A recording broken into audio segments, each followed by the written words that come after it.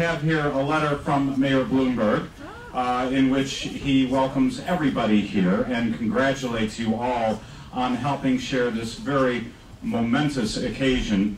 Uh, let me just read a quote from here talking about throughout our history, painters, sculptors, artisans have always been drawn to New York, and these talented individuals have helped to shape our city's character and establish our reputation as an international arts capital. On behalf of all New Yorkers, congratulations to tonight's honorees who are sitting at the front tables, and he offers his best wishes for a wonderful gala and continued success.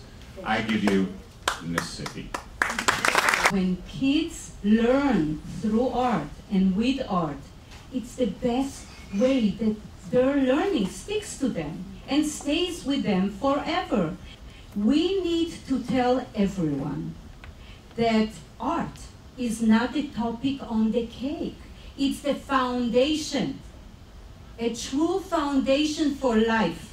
Reverend Martin Luther King had a saying, which is very apropos today. We came in different ships. Now all of us are in the same boat. So as Americans are in the same boat, world is in the same boat, because without peace, ability of us to destroy each other is very easy. To create is very difficult. So I thank you for all your efforts on behalf of peace, and peace begins with the children.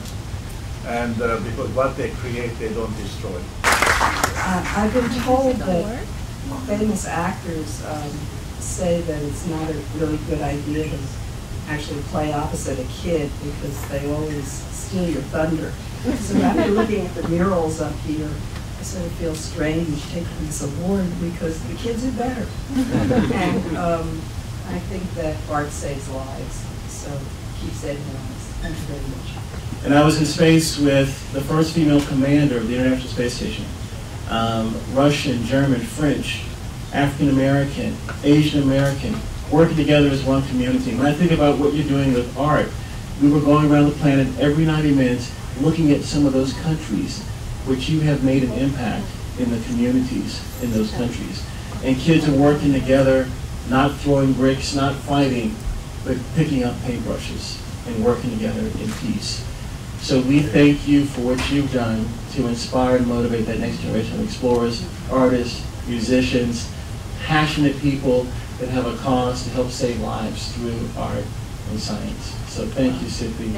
What I really find most fascinating about you is that you're just a regular guy that loves football, music, arts, snowboarding, and reading.